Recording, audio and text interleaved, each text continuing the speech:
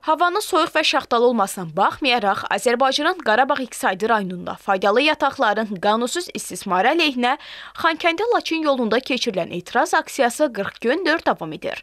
2022-ci il dekabrın 12-sində səhər saatlarından başlayan aksiya ötən gecə boyu da davam edib. Gənc aktivistlər gün ərzində olduğu kimi yüksək fəallıq göstərirlər. Təhlükəsizlik qaydalarına yüksək səviyyədə əməl olunan toplanış yerində gecə boyu da heç bir insident baş verməyib. Həmişə olduğu kimi etirazçılar bu səhri də Azərbaycanın dövlət himninin səsləndirilməsi ilə açıblar. Daha sonra vətənpərvərlik ruhunda mahnılar ifa ediblər. Eyni zamanda ekofəallar yolun hər iki tərəfində hərəkətə maneə törətmədən üzərində Azərbaycan, rus və ingilis dillərində yazılmış plakatlar qaldırıb şüarlar səsləndirirlər. Aksiya iştirakçılarının tələbləri ilk gündən olduğu kimi dəyişməz olaraq qalır. Belə ki, ekofəallar və gənc könüllülər Azərbaycan oyaqdır, sərvətinə dayaqdır. Azərbaycan vahiddir, sərvətinə sahibdir.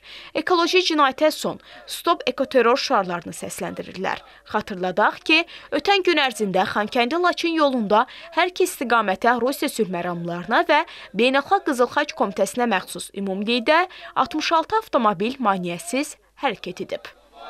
Sərvətinə sahiptir. Ekologiya, təbiət qoruyacaq bu millət.